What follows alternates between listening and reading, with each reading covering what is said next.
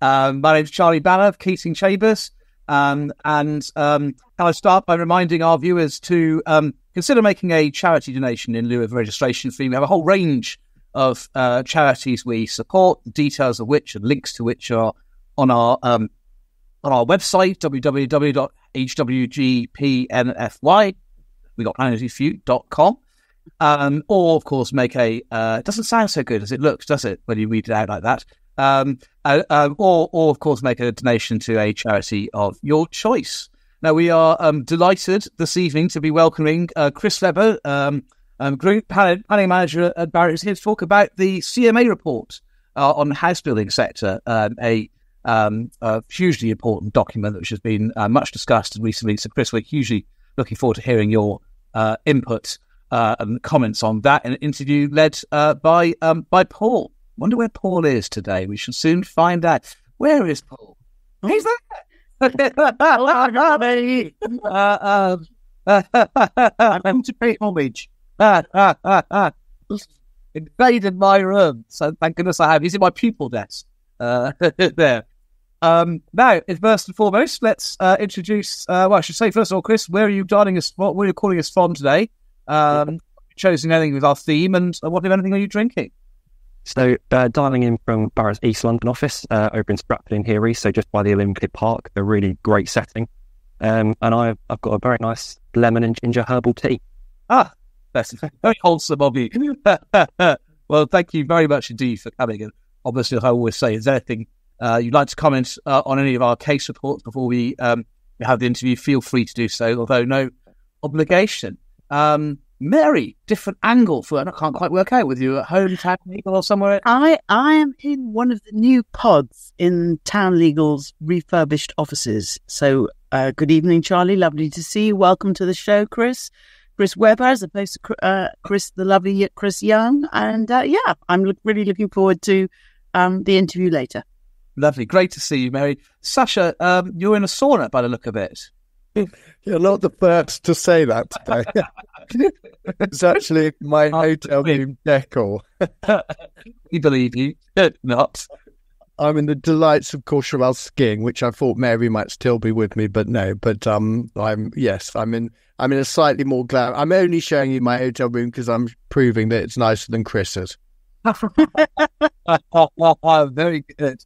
Very good. Well, great to see you, Sasha. Chris, you have one of, I think, as far as I can see, you have behind you one of my favourite. Is that David Hockney's Pear Blossom Highway? It is, yes. Although uh, I obviously don't have any, I don't have any original Hockneys, uh, but um, that is from my room in Chambers. I'm moving between chambers. Um, whilst I'm still at number five, but we're moving to a new building, and um, I am uh, in a hotel in Maidenhead. I'm in the Royal Ascot Suite, obviously. Um, and uh, we we had a theme. Uh, have we asked Chris about his theme? What is the theme, Chris? I did ask. I didn't get an answer. I didn't like to say. Can oh, you? Sorry, we're not. I do that on this show. Oh, terribly. Uh, no, my theme is adventure holidays. Uh huh. And uh, me and my wife have, have, got a real kind of uh, love for adventure holidays, going to exotic places. Always hit the theme on the head. Um, going to a lot of different countries and doing a lot of very adventurous things. So jumping off um, cliffs, canyoning, coasteering, zip lining, um, doing what I found out earlier in the year was a Tarzan jump, which is essentially just go on a platform above the tree line and just do a straight 45 meter drop down um, before you start swinging. So anything like that is uh, it's just fantastic. So I thought it was a great thing. I'm, I'm very, I, I, need to know what you were wearing when you were doing that Tarzan jump. Bubble wrap. Well, at least uh, Sasha's always taking ski there. There, so you've actually gone on another skiing holiday in order to give effect to the theme. Uh, and do ask Paul, please, Charlie. He's got that backdrop. Do ask him. Yes, I'm going to have to. Uh, Paul, tell us about the backdrop. Uh, well, I, I hate adventure holidays. You're going to have to mute Charlie if I'm in the same room. Uh, I hate adventure holidays. Uh, that definitely isn't me jumping off the Zambezi Gorge uh, last summer. I wouldn't do anything so stupid. There are no crocodiles there uh, nor was I egged into doing it by my family. I go on beach holidays and nothing else, uh, Chris. But it's a delight to see you. And I have to say, Charlie, yeah. now you've re- now you've remembered the theme. Lonely Planet. Anybody else a fan of Lonely Planet? Oh yes, I, have been to a hundred countries using Lonely Planet. I absolutely love it. I love your theme. and um, I particularly like deserts, so that's why I've got my David Hockney. Uh, uh Anyway, we've almost remembered to do the order right, Charlie. Almost. Almost. almost. Thanks, mate. Um, now, um, I think I've uh, I haven't got anybody, have I? No, hooray! Um, in which case, um, we're going to start with Marks and Sparks, and who better that's about the decision uh, than Mary Cook. Thank you very much, Charlie. So this is a, a decision of uh, Nathalie Lieven, J, allowing a Section 288 challenge and quashing the Secretary of State's dismissal of M&S's Section 78 appeal for the construction of a new nine story mixed office and retail store um, at the western end of Oxford Street. In other words, the redevelopment of their flagship, um, their current flagship store. Now, there were six grounds to this challenge. Um, the first ground was that the Secretary of State had erred in respect of paragraph 152 of the National Planning Policy Framework when he said in paragraph 24 of the decision letter that there is, and I quote, a strong presumption in favour of repurposing and reusing buildings. There is, in fact, no mention of the word presumption in what was then paragraph 152 of the NPPF, which is now 157 of the um, the December 23 version, and that's the one that talks about the planning system supporting the transition to a low carbon future in a, a climbing in a changing climate, taking full account of um, various risks. So that was the first ground of, of, the challenge. And as I say, the claimant pointed out that there wasn't actually a the word presumption in that paragraph in the NPPF. Moreover, that there are paragraphs in the NPPF which do use the expression uh, presumption. And therefore, of course, if the draftsman wanted to create a presumption in relation to 152 now 157, um, he would have he would have done so. Um, and the Secretary of State didn't have um, the submissions made on his behalf alleged that um, it was the stated intention of paragraph 152 to create radical reductions in greenhouse gas emissions. And it was open, it was argued, to the Secretary of State as a matter of planning judgment and weight to apply a policy presumption. Well, the judge wasn't having any of that. Um, she thought it was absolutely plain that the Secretary of State had misinterpreted the um, NPPF and therefore erred in law, and that ground was successful. The second ground of challenge related to the consideration of, an alter- of alternatives, and here the inspector had concluded that there was no meaningful refurbishment which could achieve the planning policy objectives. And the judge said that whilst it would have been open to the Secretary of State to disagree with the expert inspector, this is David Nicholson, um, architect, it would have been open to the Secretary of State to disagree with that judgment. He would have needed to give adequate reasons as to why he disagreed. And in this particular instance, he had failed to give those adequate reasons. And so that ground of challenge was successful. Again, ground three, Secretary of State, uh, it was said, had erred in the balance of public benefits um, as against the heritage impacts. The judge found that there was an obvious inconsistency in the decision letter, where, on the one hand, limited weight had been given to the potential harm to the vitality and viability of the area from a refusal, but yet significant weight uh, had been given to the benefits which would have been lost if, of course, the scheme did not proceed. So there was a sort of inconsistency, and again, that ground was successful. Ground four, the Secretary of State's conclusion on harm to the vitality and viability of Oxford Street um, was uh, uh one upon which it was said that there was no evidential basis. Now, you may all recall that M&S had said that they would leave. They would leave Oxford Street if they didn't get the planning permission. Um, and that if um, planning permission was not granted, the inspector concluded um, that that indeed would be harmful. That scenario would have been harmful to the vitality and viability of what is an international town centre. And once again, although the Secretary of State appeared to disagree, he didn't give adequate reasons. And so, again, that ground was um, challenged sorry, was successful. So ground five was all about embodied carbon. And this is where the judge said that the Secretary of State had become thoroughly confused on the difference between embodied carbon, which emanates from the construction of buildings, as distinct from carbon emissions, which emanate from the op- operational phase of a development. And the London Plan Policy, uh, SI2, which relates, um, uh, which has a policy, an offsetting policy. And the Secretary of State said that, that there was a breach of this policy, but that was because the Secretary of State mistakenly thought that that policy related to embodied carbon when it didn't. It actually related to um, carbon emissions during the operational um, phase of a, a, development. And so, again, um, th- this was uh, a successful round of the challenge. So there was a sixth round which uh, wasn't successful, but the challenge succeeded on all five grounds. So the matter is going to be remitted, and we wait with interest to see what the final outcome will be, and also what process, what if any process, i.e., reopened inquiry, written reps, um, the Secretary of State decides to follow. Thank you very much, Charlie.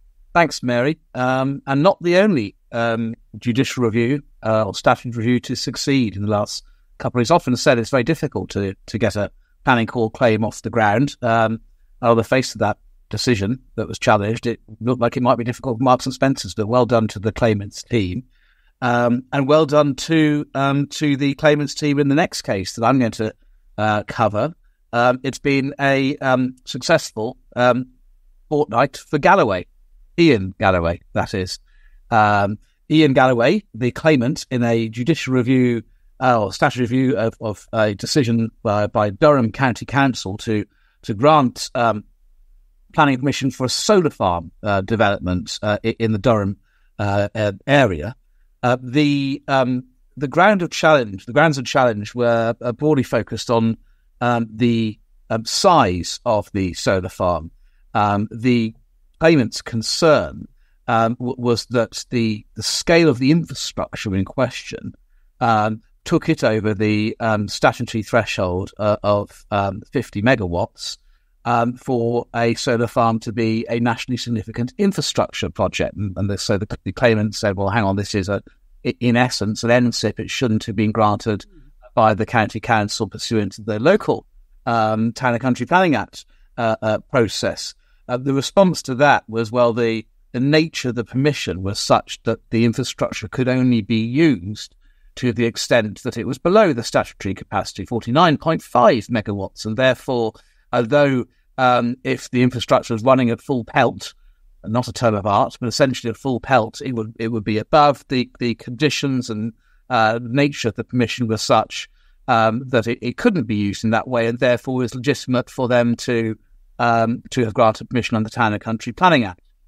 Um, now, on that aspect of the case, uh, the judge, Mr. Justice um, Fordham, uh, uh, rejected the the argument. What the judge uh, said, in, in, essence, was that the claimant's approach to um, defining statutory capacity, uh, the capacity of the solar farm, which wasn't defined in legislation, um, was uh, was not a leg- legally mandatory approach.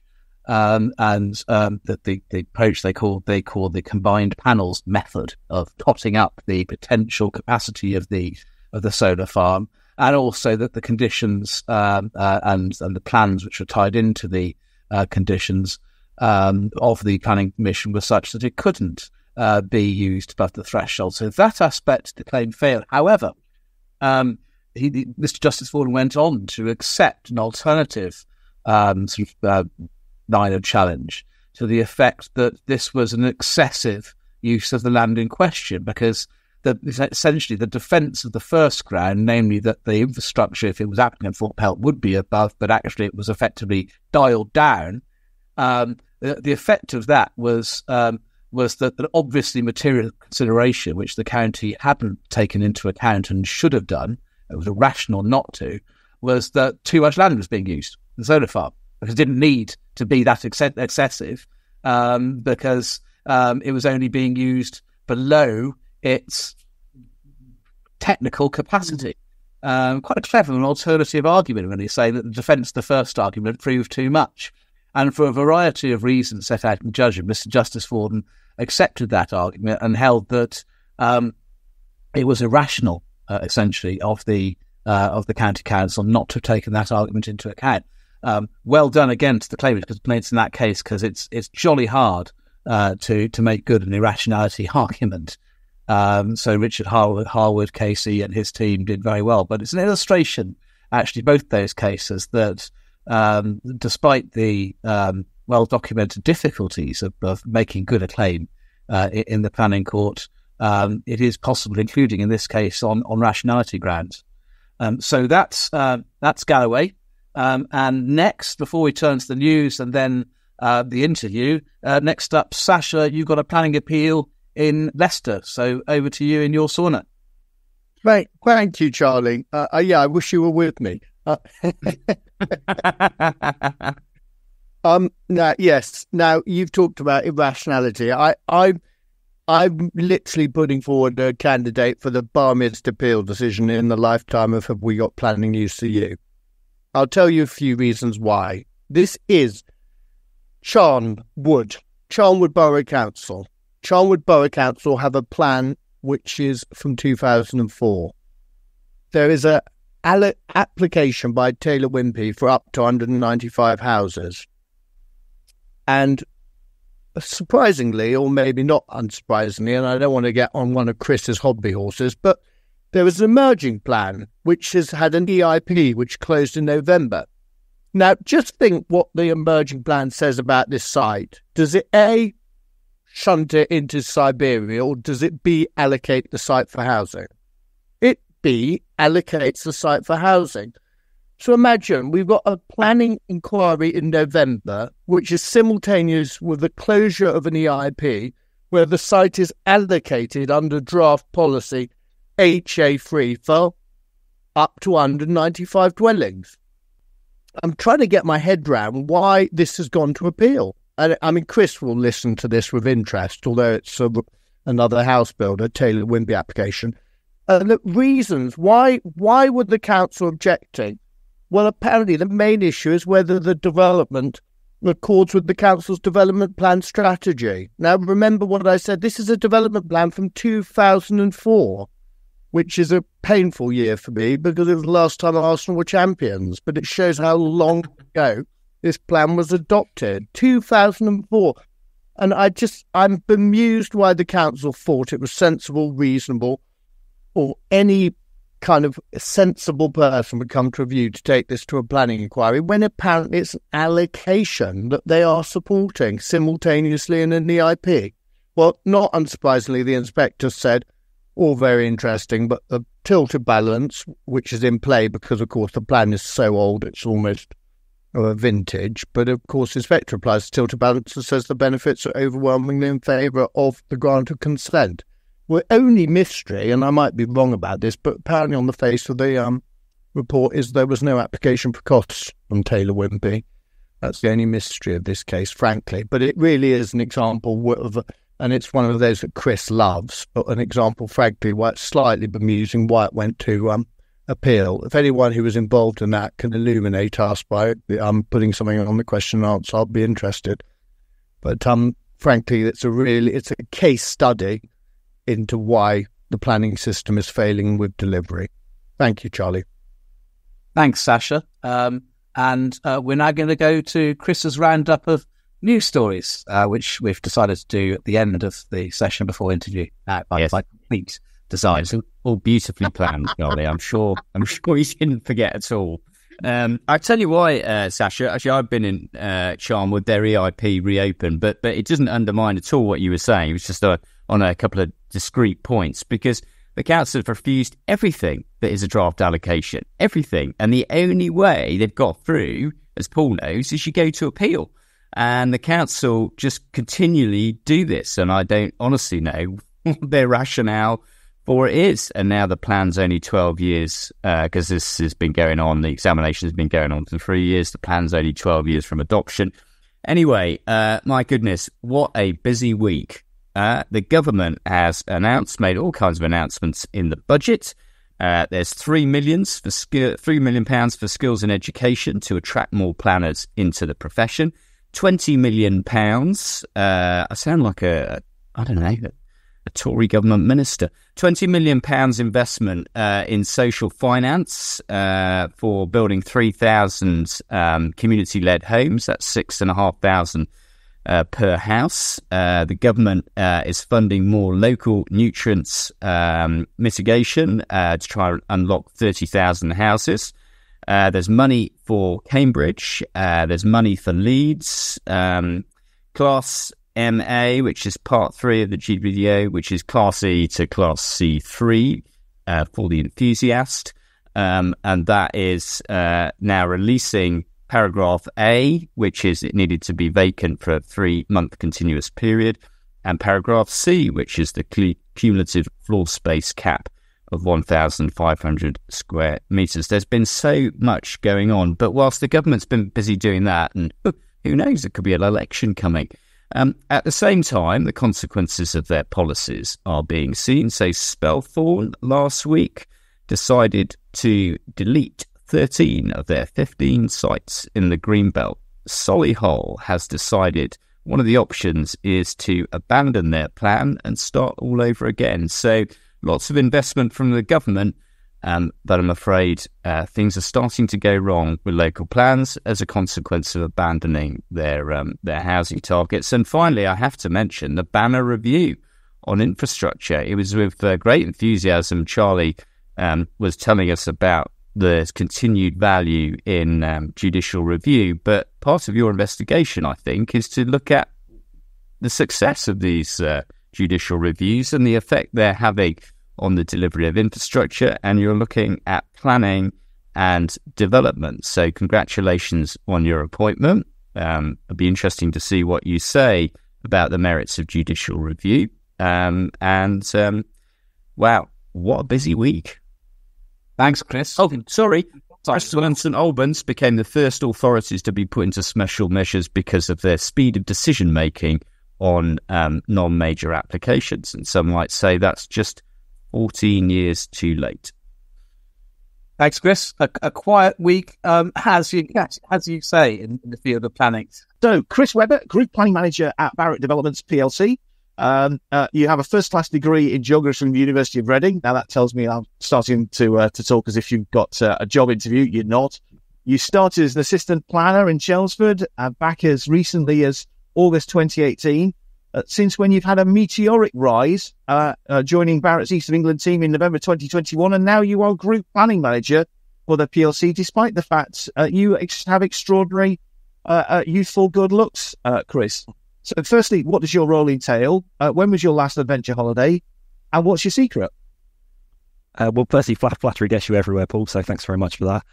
Um, my la- I'll tackle the last holiday first before I get into um, sort of professional life. But my last holiday was earlier this year to Costa Rica, um, which was absolutely fantastic. It's a, a really kind of um, long held aspiration for me and my wife to go there. So we did a, a two week kind of all in adventure holiday, uh, which was a fantastic group led, loads of activities traveling across Costa Rica. So, yes, and then turning to uh, my role as group planning manager um, in Barratt. So, I have had a my previous experience was very much development management over in East Anglia, um, uh, managing uh, reserve matters, full applications, NMAs, the whole kind of spectrum uh, for Barratt in, in that neck of the woods. And then, uh, yes, in November 2021, uh, got kind of poached by um, our group land and planning director, Philip Barnes, uh, to be group planning manager um, at Barratt. So yeah, it's, it's a it was a real upward step for me. It's been a massive learning curve. Um, but my role now is is very much twofold. One is is much more internal, so it's working with our divisional teams, uh, making sure they are delivering planning permissions, promoting land uh, to allocation efficiently, and kind of providing them the support, guidance, anything they need internally, direct involvement in applications to to help them do that. Um, and then more of the kind of external facing role, it's very much engaging with policy, going to meetings with government, with the HBF, LPDF to try and um, steer that government policy and make sure Barratt, as, as the largest national house builder, have uh, have an input and have helped to shape that. And then for much of last year, um, as you'll probably get onto, a large part of my role was uh, engaging with the CMA. So, Chris, um, So you were brought on board, um, uh, or we asked you to come on to talk about the uh, the Competition and Markets Authority report, which was published uh, last week. Uh, there's a further investigation which they've set in train, which we're not going to talk about because it's still live. But on the report that's been produced so far, what, what are the key conclusions for Barratt from the report, particularly in relation to land use and planning issues? I think from from our perspective, it is a very very positive report, and I, I, think it can't be kind of overstated the the robustness of that report. You know, the, the CMA have the power to go in to house builders, look at internal doc- request internal documents, which they they did so with Barratt. The huge amount of internal work um, collating and giving that over. So it's probably the most robust report probably ever conducted, at least in my lifetime, um, into house building. And then the conclusions they came to really was, you know, despite being out of scope in the initial review, despite Michael Gove explicitly saying you shouldn't be looking at planning, the planning system is now front and centre of why the house build house building market is undelivered, why we're not meeting uh, our need, why we're not delivering 300,000 homes a year. So I think that, you know, for that to be an outcome, first and foremost, that, you know, to go in saying you're not looking at planning and then to have planning system front and centre and to really echo a lot of what, what I've said, what Barratt said, what other house builders and the, the, wider industry have said, and to have that backed up by such a robust report is is fantastic. So, planning aside, it also then looked into land banking, um, and that's a, you know often wheeled out against house builders. And again, it was that was really good to see that you know the CMA having looked at everything internal, everything that we put together internally and, and, and the wider industry do, and say land banking's not a problem. It is a symptom of the planning system we operate in. And I think their exact terms are it's a rational response to the complexity and the uncertainty of the planning system. So house builders need to have those land banks, which again is is a really positive outcome and that we can uh, lean on and talk about. Um, again, really positive to see there was no um, instances of um, competition issues in any area of the UK. You know, it is an inherently competitive market. Again, really great to see there was a, an interim um, kind of letter report um, issue that said there might be some areas um, of concern. They went away, looked at those areas, no concerns. So there's no competition issues in any area um, of the UK. And then I think probably lastly for me, it's it was just identifying that you know there needs to be more planning permissions coming out of the system. That's the only way we are going to increase the number of homes delivered and get to where we need to be. So it will come as no shock to any of our viewers, I think, the problems uh, uh, that have been identified by the CMA report are said to be that the planning system is hindering the delivery of homes. I'm sure that many of our viewers will be astonished by that conclusion. Uh, so if the if the planning system is a key driver of underperformance, what, what are the biggest issues that have been identified by the CMA in terms of their recommendations? So, you know, overarching, it's got to be that there's just not enough coming out of the system. So, sorry, I'm kind of repeating myself what I just said, but you know that is fundamentally it. There is not enough coming out of the system to deliver 300,000 homes a year, which is the target we all need to get to.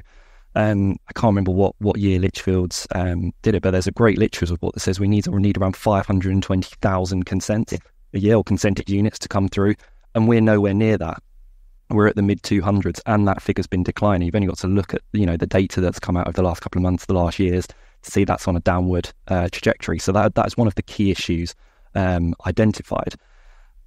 Secondly, it's that complexity, the uncertainty, the time, uh, the, the, kind of excessive time in the planning system as well. And looking at some of the stats, the CMA will only 12% of applications, I think, were determined in time. The average cost of an application is between 100 and 900,000. That's obviously a very wide ranging average and dependent on size. But again, you know, those time delays so how that they're not determined in statutory time periods. The average time scale for a planning application is 12 months. Cost 12 months is costing you up to 900 grand get in. It's hugely exclusionary to a lot of market actors. People like Barratt, a lot of the, you know, a lot of more well-funded organisations can um, work within those parameters. There's a lot of SMEs, the, the kind of businesses we should be encouraging, cannot deal with that context. So again, a fundamental issue. Um, and then an interesting one was actually looking at the availability of land. That was a really interesting outcome in terms of, of planning land, saying actually the availability of land isn't really an issue. And I think it's 44% of England is potentially uh, developable or could, could, could come forward for development. Of that 44%, 10% is brownfield. So that already shows that, you know, a brownfield presumption or entirely brownfield only will not work, will not deliver the homes we need. Um, But actually, you know, to bring land forward, it's actually the planning certainty. If you don't, if you're going to be spending 12 months, 100 to 900,000 with no certainty you're going to get a positive decision as a landowner or as a developer, why would you bring that land forward? Yeah, it's, it's interesting to drill into the stats, and it's certainly a, a report that I would invite anybody interested in the planning system and why there's failure to drill into. But one of the uh, things I, I, that struck me is that there's been separate reports issued by the CMA for England, Wales, and Scotland. They've not not covered Northern Ireland because it has a different system. Um, but I'm afraid I can't resist the temptation to note that the nation which has the closest thing to proper regional planning um, and the greatest clarity as to what housing requirements must be met is the one that's the closest to meeting its national housing target, which is a big, big up to the Scots. So uh, Sasha's team there in the rugby world. So is that worthy of note, do you think, Chris? I, I think it definitely is. Um, probably, I would just say with a caveat. So I'll, I'll kind of tackle the the yes, why should be of note in a second. But I think it's you know it's important know you've got your starting point's got to be none of the regions have a housing target is actually truly reflective of need. And I know we're talking about I'll go into Scotland in a minute, but you know looking at England, we've got a target of three hundred thousand. All of the standard method only adds up to around two hundred and twenty-five. I believe I think without the, uh, the the arbitrary sort of urban uplift applied. So actually that that's got to be a starting point on that. I think we can't get away from needing that those national targets. But then actually, what you've picked out in terms of uh, Scotland with that regional planning system is that they're actually, I think there's there's scope to adopt that and improve it. I think across the rest of the regions, because if you start with a strong national target, you can then feed that down into regional, you know, probably light touch regional plans within that. So you have that strong housing target, and that is then set at a strong level, at a very unambiguous level regionally as well. And I think that's where we can kind of build on the the Scottish model. So do we look at something like, uh, you know, harking back to the old kind of RPG guidance, very light touch, specific regions, whether that's um, you know, urban areas and their surrounding authorities, or something as big as the kind of Oxcam Arc or Oxfordshire, you know, regions to be determined. Um, but do we look at that that's set those housing targets? That national target is distributed regionally. It then sets the economic, the infrastructure priorities for that region, and then all the all the local plans just feed into that there then shouldn't be any talk around, well, who does what, who goes where. You've got a number, you've got your economic and your infrastructure priorities, everyone's got to meet it. And I think that that's probably a key lesson to be learned. Yeah, it's, it's that interim position between a national target of 300,000 and the local target for someone like Charnwood, just based upon the standard methodology. They just need to know what your figure is and then go away and plan for it. Exactly. Um, it isn't rocket science. Um, now, developers do come in for criticism in the report, um, but uh, what what do, do you uh, read the commission, uh, the competition market uh, uh, uh, conclusion as to where the blame actually lies for the underdelivery of housing? Is it the developers, is it the landowners, or is it somewhere else? On your reading, yeah, I, I think you know, in terms of land and planning, I can obviously really only talk about the areas where the CMA conclusions are really clear. I said land banking doesn't exist; it's a rational response um, to to that. Um, uh, the planning system is not generating enough permissions. You know, there is um, uh, very valid points made in CMA report around how developers build to local absorption rates and build rates, which I'm sure we'll we'll get into. But again, you can't get away from the, the, the model of house building in the UK is inherently speculative. It's tied to economic headwinds. It's tied to the laws of demand and supply. In that, we can't really get away from that. But fundamentally, you know, whether we talk about build out rates, we talk about speeding up the developer, um, how quickly developers build out sites, you've got to have the next site ready to go on that. And at the minute, we're in a system that doesn't have that next site ready to go in there. So I think it, you've got to hark back to that, to essentially the planning system and making sure everything from top to bottom is, um, you know, through a plan system is generating those sites coming through. And how authoritative do you take this report to be? I mean, is it up there with the Letwin report of, of that that caliber, or is it just yet another report that sits on a shelf? How, how do you read this? I, I, I very much hope it's it's should hold more weight than you know the Letwin review, um, Barker, those things, because of the uh, the powers that the CMA has. I said, I, as, as far as I'm aware, and feel free to correct me, I don't think you know Letwin had the ability to go in and review internal house builder documents. So you know you've got such a wide ranging review, all coming to the essentially the same conclusions that everyone has, but this should be seen as so much more robust. So I think we're just really hoping that the government will listen and that they will work with house builders, they will work with, you know, experts in the industry like like yourselves and, and you know the people listening to the call to actually look to deliver the recommendations there because this absolutely shouldn't sit on a shelf. This this is must this is a must read for everyone in the industry to understand what's going on. Just jump in and say it's it's wonderfully reassuring for me to know that Paul has a sliding scale of authority authority of public review reports. Uh, no pressure. I look forward to hearing where on the where on the sliding scale of the Tucker uh, the Tucker scale my report ends up landing. Uh, I, I'm going to plead the fifth on that one. um, okay, so so one of the, one of the points in the report is the, the issue about the emphasis on build out rates, which Mary's going to pick, pick up in terms of um, local absorption, etc. Um, but do you think this is going to lead to changes to require permissions to be built out within specific time limits? I, I believe it will, and I think I think that kind of probably goes um, builds on some of the kind of rhetoric that's already been talked about. You know, you've had um, through I think it was the leveling up, the LURA um, uh, commencement notices, completion notices. So I think we've already started to see that come through quite a lot. So and, and I think this will only kind of embolden that and, and bring those uh, those types of um, uh, methods forward of trying to drive build out rates. Um, but I think fundamentally, it's it's great. You can encourage developers or force developers, so to speak, to to build out um, sites faster. But you've got to have something that works alongside that. So whether that is a diversity of tenure on site, for example, bringing in more players to the market, deliver more units alongside that, because if you increase those build out rates, all you're going to do is is increase the uh, basically increase the rate of when homes are delivered, not actually how many homes are going to be delivered, because you'll come to the same um, endpoint, which is, well, great, I was forced to do that site faster. Where's my next one? It's not there. Yeah, it's the holistic approach. It's not just simply the numbers of any individual sites. Yeah. So, so the, the CMA's report on the planning system makes what, certainly to my reading, are comparatively familiar recommendations. So reduce determination periods, uh, require more rapid consultee responses, speed up plan making, etc. But but I'm interested in relation to those recommendations or build out rates to to to uh, to drive more non-speculative house building, which I mean RSLs, etc. So this, the CMA identified this as a potential opportunity area. Even self-build, Chris will be pleased to hear. Is is it realistic? I think you've, you've got to support any effort that gets more, to use maybe a bit of a poor analogy, more players on the pitch that you've got to have more people in the market delivering homes, you know, whether that is through the speculative model through us and whether that is more self build, custom build, it's more RPs uh, doing more. You know, there was a great change to, I think, grant, grant funding last year, which allowed them to invest in estate regeneration as long as it delivered more homes. But obviously, since then, there's a massive increase in the kind of retrofit challenge and the amount of funds that RPs need to need to sink into existing stock. So you need to kind of find a way to get those those players back involved and back in and delivering new homes. You look at build to rent, uh, private rental sector. You know, again, an absolute uh, space in the market for them, but they've got to be delivering the right sorts of homes.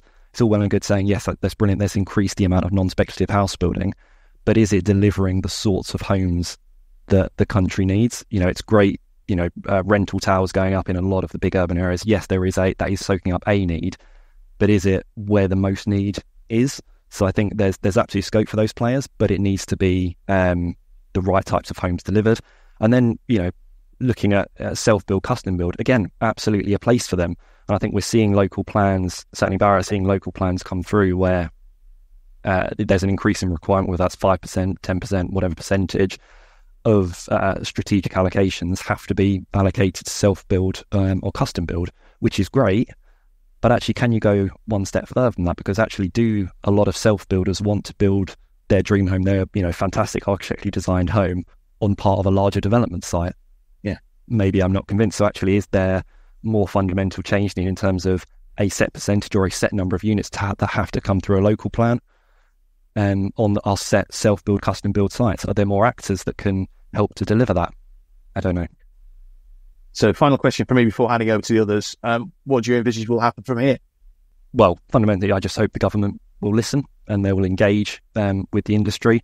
Um, there was a helpful email that I, I, hadn't actually spotted before, but it came out from the HBF uh, yesterday, I believe, that the DLUHC have committed to responding in three months, I think, from the issue of the report, um, which was a helpful flag. I hadn't realised that. So I, I, kind of, from our perspective, we just hope that that response is informed by talking, by engaging with that report, and by talking to the people who were, were essentially involved in putting that report together and giving the evidence to the CMA. So three months the initial starting point, and beyond that, who knows? But hopefully, it's it's positive in it, and whatever changes come forward are are aligned with roughly aligned with what the CMA say. And thank you, Chris. Mary, do you have a question for Chris?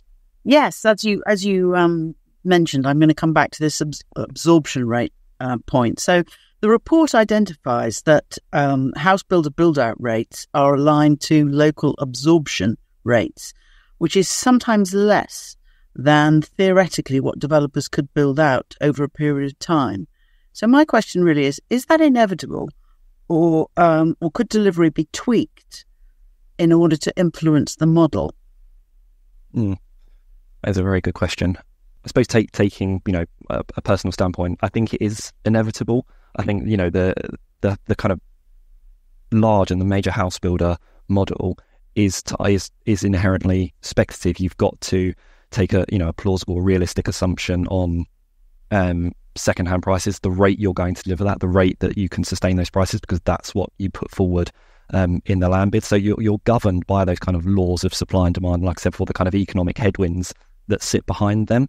So I think it is inevitable to, to a degree, but I think you've got to, when we're talking about, you know, increasing supply um, and increasing the number of homes delivered, you've got to work with that and, like I said, get those more players, get more diversity.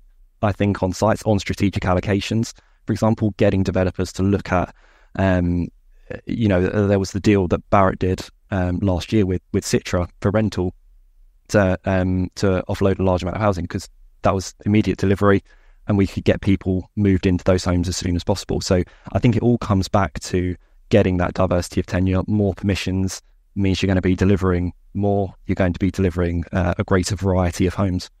I mean, we could. Uh, sorry, I, I might add a little bit of a follow up. I mean, it's quite an in- interesting point as to um, whether in the future planning policy seeks to um, p- put an onus, as it were, um, on house builders to open up um, you know, through policy, through 106 uh, obligations, that might be another way of tweaking the model, as it were, rather than sort of harsh planning permission now.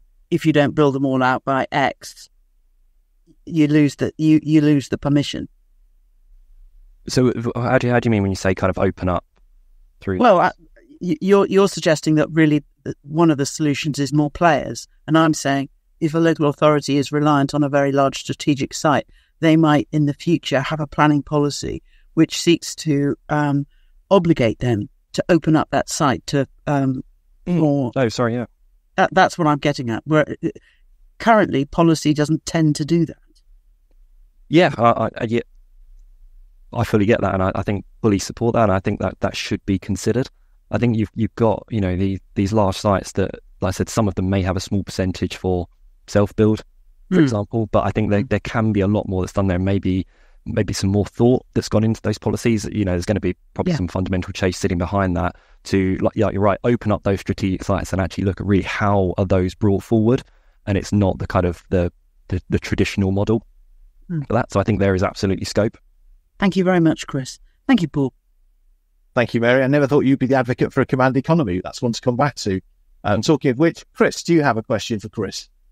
Uh, yeah, I do. Nice link there, Paul. Uh, um, so, yeah, I mean, it does say in the report, doesn't it, that planning takes a protracted time. And so they recognise there's obviously a delay problem. I, I found reading it, uh, it was like therapy in many ways. Everything that you know you, you say and you think and you get frustrated about is there, and I agree with you. You want it to be listened to. I mean, one thing which would help would if we didn't have to have all these appeals into allocated sites. Hey, guess what? I'm in Maidenhead, and I've got a two week inquiry on a site that's allocated for 350 houses. We're promoting 350 houses, and it was recommended for approval with no technical objections. So it would help. And then James Maurici is up the road in Buckinghamshire, and he's got another one that started on Tuesday. I mean, that's got to stop, frankly. Um, uh-huh. But what are your, what would you say are three things that could really speed the system up now? I'm asking for a friend. oh, I, I think you, you can't get away. Your number one has got to be resourcing LPAs properly. I don't. You, you can't shy away from that. And I think the the pots that have been announced by government, whether whether you call it the, the super squad, whether you call it backlog busting, that is just not enough. That is fundamentally not. But I can't remember what what the funding was. Twenty six million. What's that? Maybe one planner in every LPA for one year. I think that's what it comes down to. If that. Yeah, yeah, three million for um, you know, and talking about really what one officer for each authority, probably. Yeah, that that is you know that is fundamentally not enough. LPAs continue to be in, a, in a, an absolute critical resourcing position, and that means you're getting you know the, their workload soaked up by appeals, by almost kind of needless work a lot of the time. Um, you know, if we're going to deliver 300,000 homes a year or increase that above 300,000 homes a year, that's got to equate to more investment into local planning authority. There's no getting around it. You can't tweak the system here and there and almost make do amend with the resource that already exists. You've got to get more resource in. There's there's no two ways about it, and that's the only way you're going to do that is through funding, and whether that is straight funding pots, whether that is actually exploring ring fencing properly, and not 88% of people responding saying you should ring fence and then saying decide not to, we're deciding not to ring fence it. So you've got to you've got to get the funding. You've got to raise maybe that's raising planning fees, ring fencing those fees, but making sure that that's allocated to um, low, uh, LPA resourcing. And then secondly, and kind of links, I suppose, your kind of intro to this question, and I don't know whether it'll be a bit um, contentious, but I'm really in favour of something like a national scheme of delegation, or at least harmonising LPA schemes of delegation in that. So, do you have a site that is, you know, actually, Barratt have got examples where it's an allocated site, so it's democratically approved. You've got it then gets outline permission, again, democratically approved at committee. You then get reserved matters, and it's refused at committee and goes to appeal because it was called in on a spurious reason. There was no evidence behind it, but it was called in for a spurious reason, went to committee and went down. And now we're five months, six months into an appeal process in that. So, do we need to look at is there, if it has gone through a certain number of stages, is uh, officers determine it to be in line with all the relevant adopted local plan policies?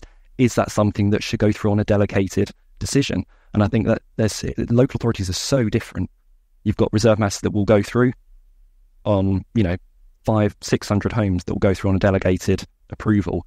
And then you've got schemes of 50 units which have to be reported to committee. Even if everyone's on board, they have to go to committee, which increases that risk. So I think there's a real opportunity area there, which is a very personal opinion, like I said, maybe a bit contentious. Um, and then thirdly, I guess maybe a little bit left field, but I, I try to engage a lot with the deemed discharge of planning condition provisions, you know, which they, you know, introduced, what, I think nine, 10 years ago, 2015, I think it was. Um, but they've got so many caveats to them. They're just not, they're just not well used. And conditions are essentially a, a real drag on officer time when they should be dealing with the applications and, and the schemes that, um, that matter and, and deliver homes. Um, not to say the conditions aren't important, but they should be focusing on those. Um, sometimes needlessly held up by statutory consultees. So actually, could could you look at an expansion of those deemed discharge provisions that will just open up sites coming forward that you're not waiting on days, months, weeks, years for conditions to be discharged, and in some instances, never discharged at all. So that would be my probably left field uh, final one. Well, thank you very much. I have to say, I can see why you got your job, for goodness sake. And that second one, you had someone nodding. Uh, so thank you very much. Cheers. Cheers, Paul. Thank you very much, Chris. Sasha, do you have a question for us? I do. Thank you, Paul. Chris, you, you've just talked about uh, about delegation, etc. Let let's let's be rational and reasonable in the sense that obviously the politicians are incredibly powerful in the planning system, and the politicians are heavily influenced by local residents, objectors, interest groups, etc. And we're in an era where many locals feel incredibly angry about new development proposals. And I just wondered what what's the approach of Barratt to to kind of changing the current status quo, which is general anger, if not fury, towards a lot of the proposals that you that you find your your companies involved in. How how are you addressing to change the dynamic of the perception of your developments? Mm-hmm. So we've we've we've done a lot of work internally looking at, at how we engage with the community because it's it's and so we, have produced um, like a community consultation toolkit, best practice guide, for instance, internally that all our divisions um, should be using. We're, we're, in the, the midst of a project with Well North Enterprises, which is run by Lord Mawson, looking at how we um, can capture social value and drive social value creation um, in our schemes. But that's kind of what we're doing. But but fundamentally, that's driven by you need to go in and understand what communities want at the very start. I think you know that there's a sense which yeah you, you'll never completely overcome it, but there's there's always a sense of well I'm having these homes thrust upon me and I'm seeing absolutely nothing in return, and I and I think developers you know maybe are but also can do more to actually get really get into the throes of the local community, do the research, go in, meet people, meet groups to understand what that community want. Can a scheme, can our scheme deliver that, or can an allocation deliver that? And actually deliver it as we say we're going to deliver it. You know, do what you say you're going to do. And again, we, have had um, schemes. What one rings a bell um, that I, I, used to do a bit of work on in in Essex, where um, you know huge public um, and political kind of outcry to the scheme. It's just just a reserve matters, but huge outcry to it. But we actually, you know, went in there, laid the groundwork, met with the people, understood the concerns that they had with the site, the neighbours, and worked with them and uh, delivered things over and above uh, what the 106 had. We delivered a, we kind of uh, were speaking to the parish council. They had a, a local village war memorial, for example, was really poorly used on a road junction. You know, on in, you know in November, it's going to be a horrendous. Um, uh, you know, it could be really uh, horrendous weather, for example, just wasn't able to be used. So, okay, well, what about if we we've, we've got space, we've got huge amounts of POS. Why don't we relocate and we'll create a really nice memorial space, recreate this in our scheme, and that that went down fantastically. Really well used, you know, had a, had a great launch. Had you know the local MP down there, everyone out there that um, would usually uh, visit that that memorial now did it on our site, and they're seeing the benefits that can be brought to a community. So I think you've got to do that. You've got to you've got to build on that, and you can't underestimate or get away from engaging the community, identifying what they want, and then delivering on what they want, and then and being quite frankly from a developer standpoint, shouting about it and saying this is what we've done. And you're never going to win over 100% of hearts and minds, but I think that's a bloody good start. Um, thank, thank you, Sasha. Particularly, thank you for not standing up in your sauna. That's most appreciated. Yeah. Um, Tell you why last but standing up. No. Yeah, we'll, we'll, we'll edit that out. Don't worry about it. It won't go out in the live version. Um, and last but by no means least, uh, Charlie, do you have a question for Chris? I, I do. I'm going to try and manage the sound uh, quality. What a great advert for not doing our show live uh, in person. How, how, bad we are at, at all the tech.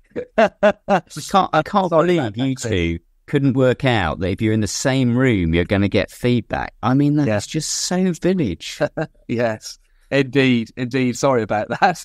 Um, Chris, my uh, question really goes back to the, the CMA's uh, recommendations. And um, what I'd be interested to hear your thoughts so of the various recommendations that they um, have put forward for addressing the, the, identified problems that they found. What, in your view, are, are the most implementable? Uh, uh what, in your view, will have the most impact? So, I suppose you know say day day to day first before maybe start getting to the, the more kind of meaty um, stuff. You know, the statutory review of statutory consultees. Yes, that's already that's already underway. You know, that is probably the number one issue, delaying schemes and preventing schemes from from coming forward at the minute. So that is a hugely welcome step that that's already in play. We don't quite know the outcomes of, of the review that's been ongoing for the, the the last couple of months, but fantastic to see the CMA kind of endorse that review as well, and particularly look at you know, not just kind of maybe rationalizing this to consultees, but is there a redeemed green light if that's if they don't respond, for example? You know, that that is a hugely uh, positive step. And then as well, and I, I mentioned it earlier, planning fees got to be ring fenced to it. I think you, you absolutely cannot get away from that. And I think internally, you know, we've had a few discussions, and I have no idea how, how uh, robust this actually is, but I think it was just put on the too difficult pile when the government did their planning fee increase, it was, it was great to increase, but I think you've got to amend some pretty fundamental legislation. I think whether it's local government finance acts or something like that to actually ring fence those fees. So it's put on the too difficult pile. So that need, that absolutely needs to be uh, revisited. And then, like I said, the, the kind of more meaty stuff that, that, that the CMA recommended, um, housing targets, you know, absolutely unambiguous uh, clear national and then from a personal perspective regional housing targets I think would are, would be fantastic to it and I think quite easily implementable. You know and whether that is continuing to to look at household projections which the CMA um, look into or whether that's a maybe a move to like a stock based increase approach which which we've talked about which uh, the HBF I think recently talked about in um, I don't know if it's a, a 10 point plan that they put out at the tail end of last year so you can't again get away uh, from that and then probably getting to the end, really enforce proper enforcement and monitoring of local plans and actually properly incentivizing those local plans to come forward. So, do you look at linking um, HIF funding, for example, to an up to date local plan? If you haven't got an up to date local plan in place that sets out your economic and infrastructure priorities, can you access that funding? I think would be a massive character actually getting those local plans in place. If you don't have local plan in place, you haven't got a, you haven't got a, you're um you haven't got a look in to it, and then putting getting that along with you know effective sticks. Really, you know, I don't think we can absolutely not look at say finan- financially penalising local authorities. They're in a dire state, so you can't say we're going to take more money away from you or you know cut funding. Um, but I think those kind of positive financial uh, incentives, but also you know having real planning sticks associated with it. So strengthening the presumption, presumption in favour If you haven't got an up-to-date local plan in place, for example. You know, you look at the, the brownfield presumption that's kind of the, that's going through consultation at the minute. Yes, it's obviously very limited and of an odd consultation, I suppose, in, in my eyes. But you know, is is there scope there for for that to be rolled out a bit further? That strength and presumption if you haven't got a local plan in place, so more effective kind of carrot sticks monitoring incentivization for that. Um, and then very lastly, I think it, it's go back to what I've said a couple of times that diversity of player on the pitch. I think looking at local plans and looking at more effective policies, say for SMEs, you know, not just requiring, you know, 10% or looking at them through windfall sites, but actually allocating specific sites for SMEs on there. And I think that that would potentially go how, how robust that'll be or how well that'll work, I don't know. But I think that would be a really good step. Thanks, Chris. Really, really fascinating thoughts there. Back to you, Paul. Uh, that that was Charlie's uh, uh, uh, self uh, note to turn his microphone off, and guess what? It worked this time around. I'm most impressed. Um, Chris, thank you very much indeed. We, have had a lot of traction in relation to the chat, particularly in relation to this notion of um, uh, having a delivery strategy, which includes potentially opening up big sites to uh, to other players mm. in relation to that. Maybe a delivery strategy at the time of consent, maybe something to think about. So what we'll do is, we'll, as with all our guests, we'll copy all the comments and the questions, and we'll make sure those go go to uh, Chris. I was particularly struck with Dave McMullen's uh, comment that he's just got consent for 500 odd, uh, plus lots of other stuff. Uh, CY will know where. Allocated site, not one objection. Delegated powers took 855 days to get consent. Lack of resource and local authority and consultees was a factor.